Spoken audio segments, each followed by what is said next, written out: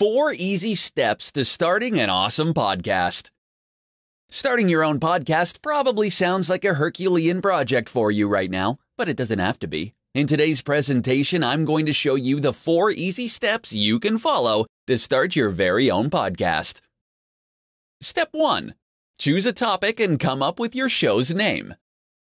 Your podcast is your own show. You can talk about anything and everything under the sun. But if you want to attract a specific audience, then you need to narrow down your topics. You need to define what your podcast is going to be all about.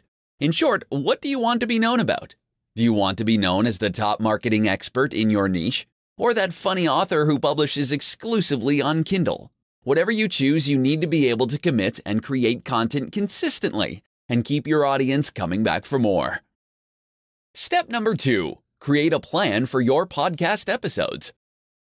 Podcasting is also a form of content marketing. You want to stand out from the crowd, right? Then you need to come up with a content strategy that will fit your podcast message or branding. Treat your podcast like a business. Plan everything in advance. If you're thinking of interviewing experts in your industry, then write it down in your calendar so you can reach out to them well ahead of time.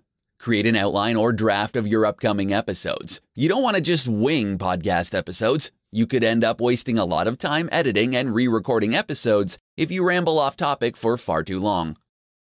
Step 3 Record your podcast episodes.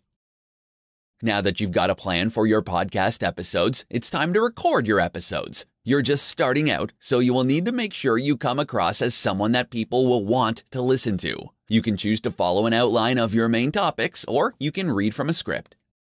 Step 4 Publish and promote your podcast. To publish your podcast, you need to select a good podcast hosting service. Libsyn is one of the more popular ones. Once you've uploaded your episodes to your host, it's time to promote your new show to your target audience.